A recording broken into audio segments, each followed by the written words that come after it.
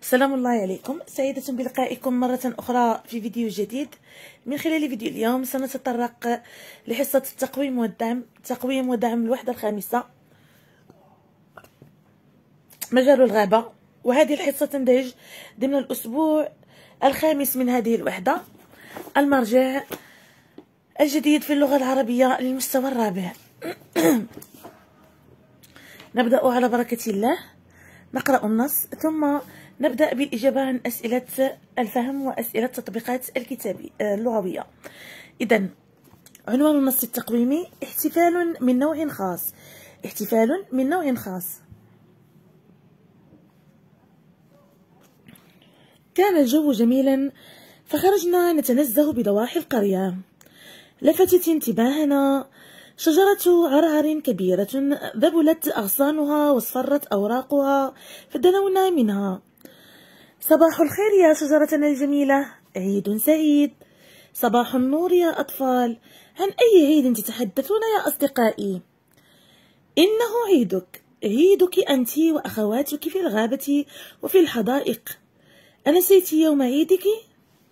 شكرا لكم أعزائي. كل عام وأنتم بخير. أيحتفل مثلي بالعيد؟ ألا ترون حالي؟ لقد تسلق أطفال جذعي بالأمس وتأرجحوا في أغصاني وكسروها وأتلفوا أوراقي. شيء مخجل أن يقع لك هذا في يوم عيدك يا شجرتنا الظليلة إن الأشجار خائفة وحزينة. لقد عاد هؤلاء الفتية صباحا وتوجهوا نحو شجرة الأرز الباسقة. سيعبثون بها كما عبثوا بأغصاني أثارت انتباهنا زقزقة غريبة للعصافير فالتفتنا. كانت مجموعة من الصبية متسلقة شجرة السنديان العظيمة ومجموعة أخرى تعتلي أغصان شجرة الصنوبر.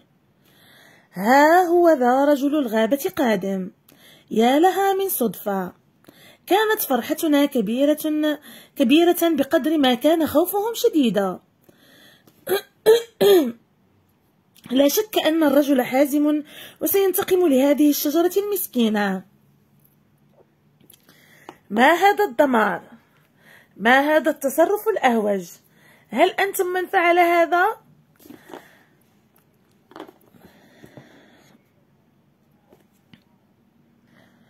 تفحص المكان ثم التفت إليهم قائلا بالأمس احتفلتم بعيد الشجرة في مدرستكم واليوم جئتم لتخريب الغابة أهكذا نرد جميل الأشجار؟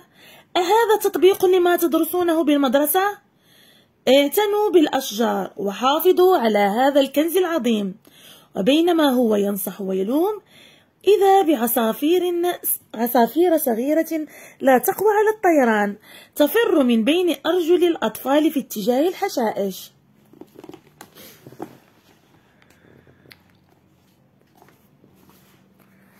ننتقل مباشرة للسؤال الثالث لأن السؤال الأول والثاني عبارة عن قراءة قراءة النص قراءة هامسة أو قراءة حوار الذي دار بين الأطفال والشجرة قراءة معبرة. لن أضع شبكتي مفردات انطلاقا من النص الأولى لا علاقة بتدمير الأشجار والثانية بالإعتناء بها.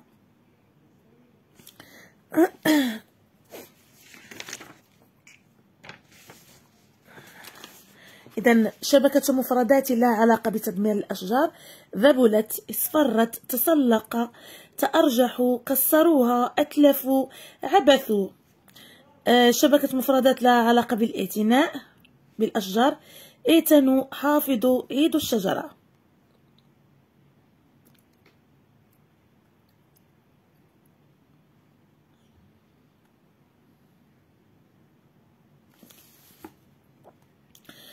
السؤال الموالي أعدد معنى أحدد عفوا أحدد معنى خجول.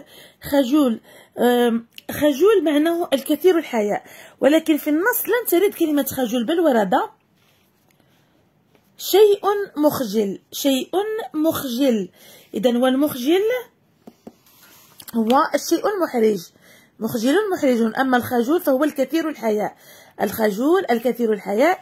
بالنسبة لموقع كلمة مخجل في النص فهو المحرج. الشيء المحرج شيء مخجل شيء محرج. أذكر أنواع الأشجار الواردة في النص وأذكر صفاتها الواردة بعدها. إذا أنواع الأشجار الواردة في النص.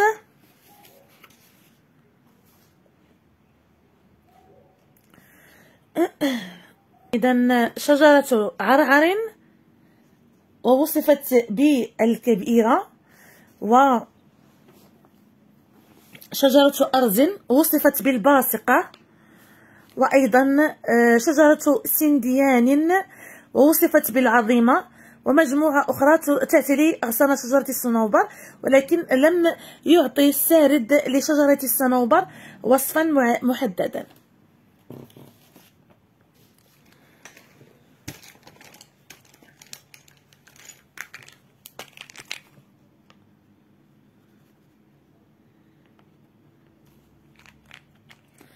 إذا أنواع الأشجار الواردة في النص مع مع أوصافها. العرعر كبيرة ذابلة الأغصان ومصفرة الأوراق.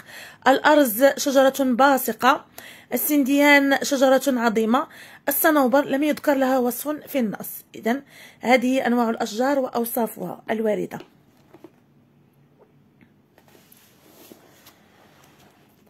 لماذا خجل الأطفال رغم أنهم لم يرتكبوا خطأ بحق الشجرة؟ إذا لماذا خجل الأطفال رغم أنهم لم يرتكبوا خطأ بحق الشجرة؟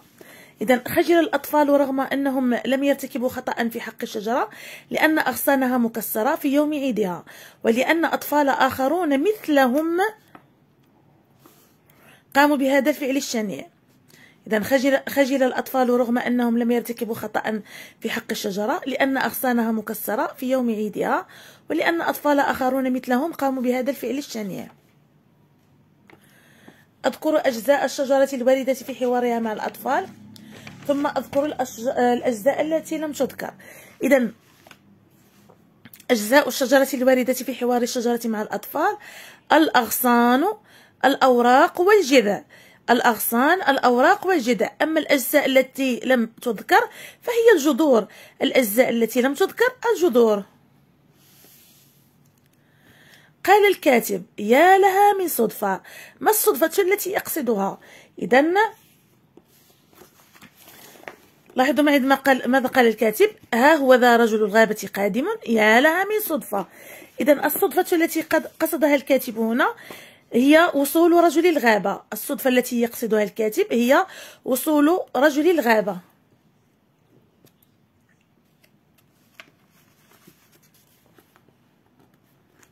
نصح رجل الغابة الأطفال ولامهم. استخرجوا عبارات اللوم وعبارات النصح. إذا عبارات اللوم. اليوم جئتم لتخريب الغابة. هكذا نرد جميل الأشجار. هذا تطبيق لما تدرسونه بالمدرسة.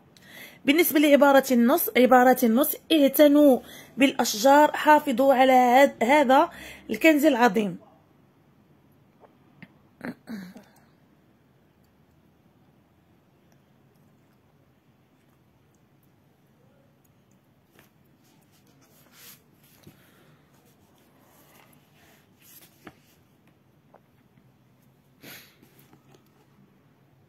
ما هدف الأطفال الذين عبثوا بالأشجار؟ ما هدف الأطفال الذين عبثوا بالأشجار؟ إذا هدف الأطفال الذين عبثوا بالأشجار هو صيد العصافير الصغيرة. صيد العصافير الصغيرة كما ورد في النص. أيهما أكبر؟ خوف الذين ارتكبوا أخطاء أم فرحة المتنزهين؟ إذا لاحظوا معي. كانت فرحتنا كبيرة بقدر ما كان خوفهم شديدا. إذا فرحة الأطفال كان آه، آه، فرحة الأطفال آه، الذين كانوا يحاورون الشجرة كانت بقدر مع خوف الأطفال الذين كانوا يتلفون الأشجار. إذا خوف الذين ارتكبوا الأخطاء كانت بقدر فرحة المتنزهين. خوف الذين ارتكبوا الأخطاء كانت بقدر فرحة المتنزهين. هنا أشخص مع زميلي أو زميلتي حوار الأطفال في الشجرة. هذا آه، نشاط داخل القسم. أجيب على سؤالي الحارس حارس الغابة بجملة. هكذا نرد جميل الأشجار. هذا تطبيق لما تدرسونه؟ إذا نرد ب أكيد لا بل نرد الجميل للأشجار بالعناية بها والحفاظ عليها والغرس المزيد منها. أكيد لا بل نرد الجميل للأشجار بالعناية بها والحفاظ عليها وغرس المزيد منها. إذا ننتقل للتطبيقات اللغوية. أشكل ما كتب بلون أحمر في النص. إذا ما كتب بلون أحمر في النص لدي كان الجو جميلا. إذا كان ناسخ فعلي أو فعل ماض ناقص. إذا الجو كان تدخل على الجملة الاسمية فترفع الأول. جو وتنصب الثاني. جميلا. الجملة الثانية ابتدأت بناسخ حرفي إن الأشجار خائفة. إذا إن ناسخ حرفي أشجار اسمها. إذا الناسخ حرفي حين تدخل على الجملة الإسمية تنصب الأول ويبقى الثاني مرفوعا. الأشجار خائفة. ما كان خوفهم شديدا. إذا كان خوفهم شديدا.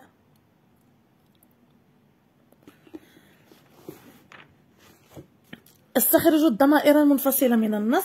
إذا الضمائر المنفصلة من النص لدينا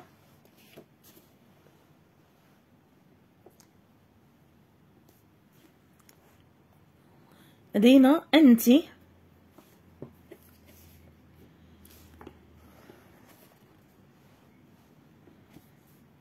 بحث هو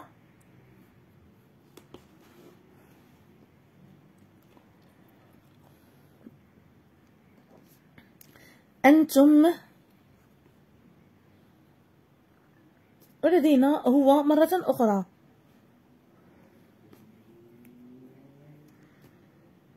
أنتم وهو كررت مرتين إذن الضمائر المنفصلة هي أنت هو وأنتم.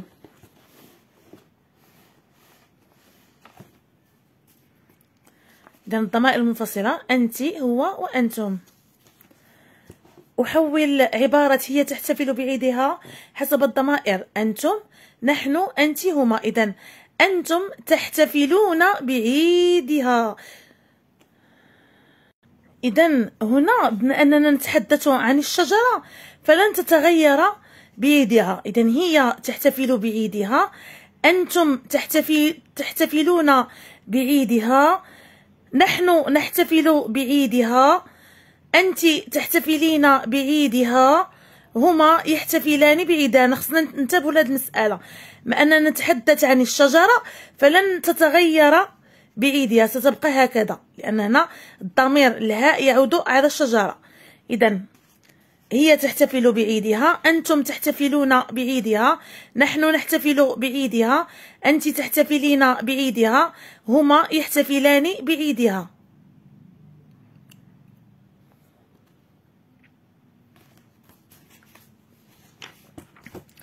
أملأ الجدول بما يناسب وأبين التغييرات. إذا الجملة الإسمية الغابة حزينة مع الناسخ الحرفي. إذا غادي ندخلو على هذه الجملة الإسمية اللي كتكون مبتدأ وخبر.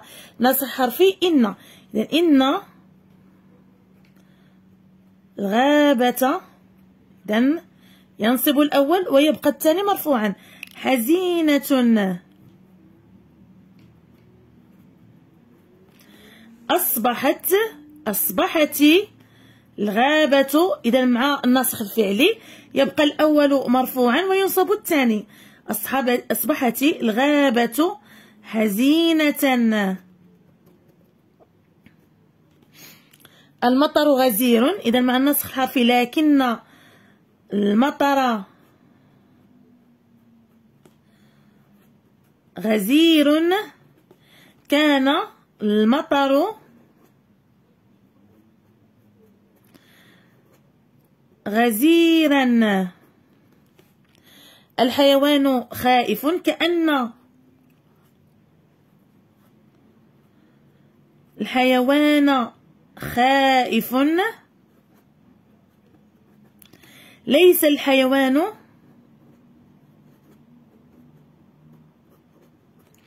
خائفا.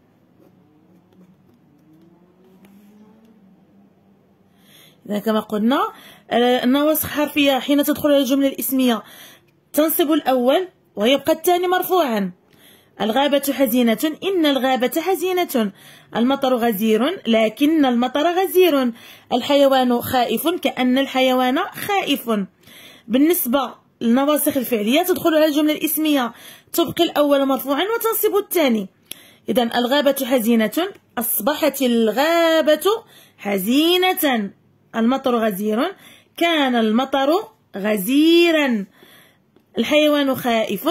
ليس الحيوان خائفا. نكمل.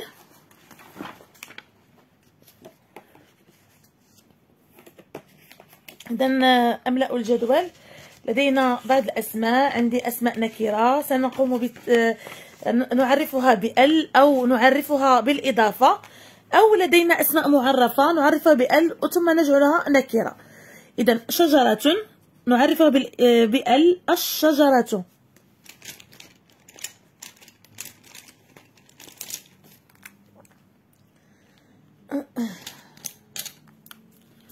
الشجرة.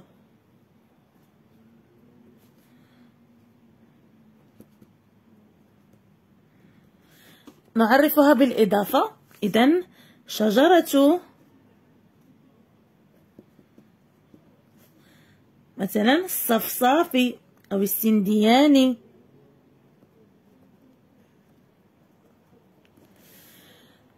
غابة الأرز نعرفها الأرز نعرفها بال الغابة.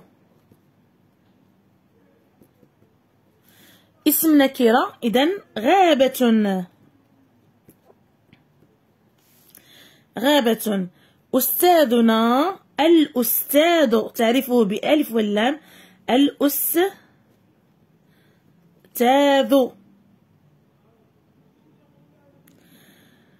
نكرة اسم نكرة أستاذ.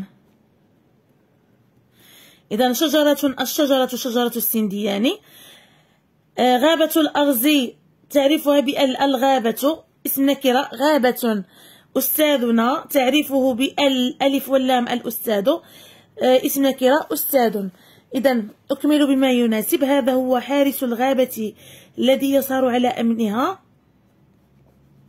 حارسة الغابة. إذا هذه هي حارسة الغابة التي تسهر على أمنها. حراس الغابة إذن حراس جمع إذن هؤلاء هم حراس الغابة الذين دائما كنتبه لكتابة الأسماء الإشارة والأسماء الموصولة. الذين يسهرون